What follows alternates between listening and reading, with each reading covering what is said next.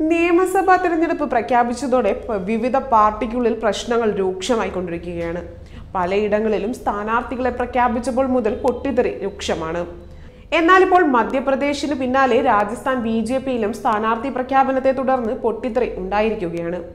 അതേസമയം സ്ഥാനാർത്ഥി പ്രഖ്യാപനത്തിൽ കോൺഗ്രസിലും അമർഷം പുകയുന്നുണ്ട്. കഴിഞ്ഞ ദിവസം പാർട്ടി ഒ ബി സി നേതാവ് രാജിവെച്ചിരുന്നു.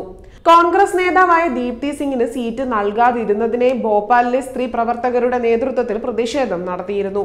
എന്നാൽ സ്ഥാനാർത്ഥികളുടെ കാര്യത്തിൽ ഇനി മാറ്റം വരുത്തില്ല എന്നാണ് നേതൃത്വത്തിന്റെ വിശദീകരണവും. ബി ജെ പിയിലെ പ്രശ്നത്തെ ചൊല്ലി രാജ്സമന്ദയിൽ പാർട്ടിയുടെ ജില്ലാ ആസ്ഥാനത്തെ ഓഫീസിനുള്ളിലെ ഫർണിച്ചറുകൾ പ്രവർത്തകർ നശിപ്പിച്ചു.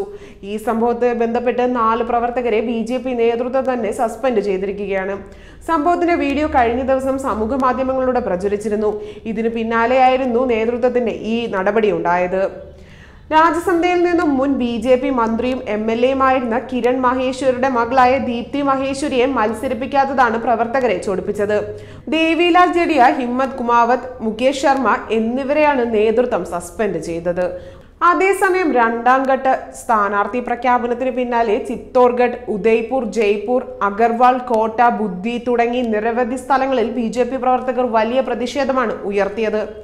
പാർട്ടി സംസ്ഥാന അധ്യക്ഷൻ സി പി ജോഷി അടക്കമുള്ള നേതാക്കളുടെ കോലം കത്തിക്കുകയും പ്രതിഷേധാത്മകമായ ശവഘോഷയാത്ര സംഘടിപ്പിക്കുകയും ചെയ്തു.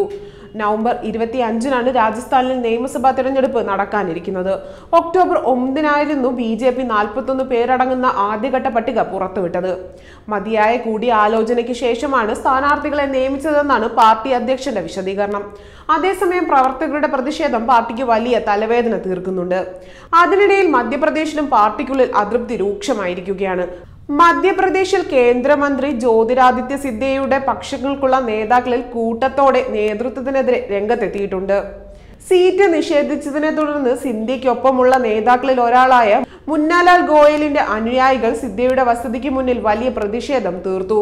ഒടുവിൽ സിദ്ധ്യ നേരിട്ട് ഉറപ്പ് നൽകിയതോടെ മാത്രമാണ് പ്രവർത്തകർ പ്രതിഷേധം അവസാനിപ്പിച്ചത്.